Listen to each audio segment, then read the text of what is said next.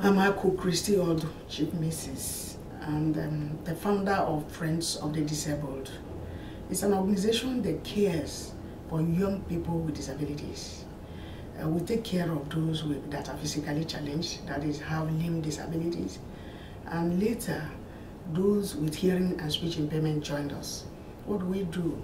We try to stop them from begging because begging is the major thing for any young person or elderly person with disabilities. And we look at their talent, everybody is talented, and we need, we need to develop their talent and give them skill, and they can set up their own uh, business places, and that is in exchange for begging. We don't believe in begging as a source of living. So um, by 1992, 93, I met a group of boys in a car park and I wanted to take a tricycle to somebody in my local village because I saw them riding it.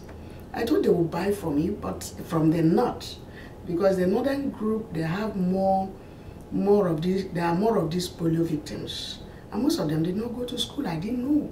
So after they, they told me they can build it, they built it and gave me, and I said, give me a receipt because I'm carrying it across. They couldn't.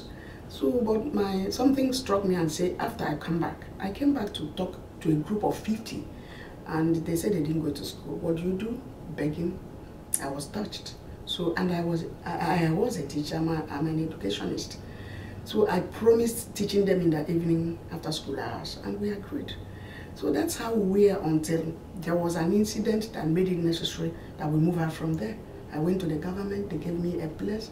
The place was so bad, a dilapidated compound that was made by politicians. Then people came, organizations came. They heard what I want to do. They saw my program, they saw my plans, the idea, and they helped me build that place up.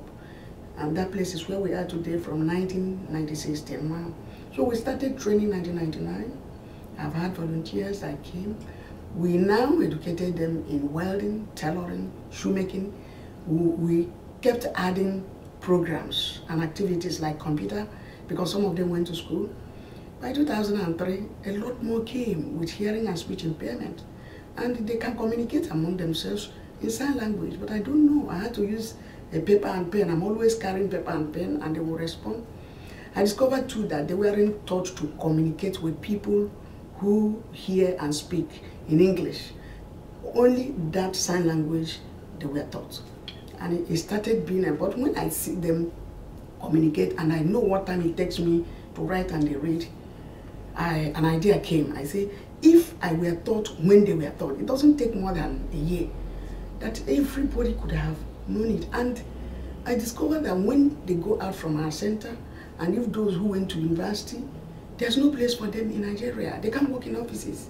But those on the wheelchair who went to the same school, and those that have visual impairment, they can work in offices. Most of them are, can work there. But those with hearing and speech impairment, no matter the qualification, no matter the handwork, they are on their own because people don't understand them. And so it becomes very necessary that we find a way out to push them back to the society so that the society will accept them, so that they will make business with them, so that they can, you know, gain a, a living with what they have learned.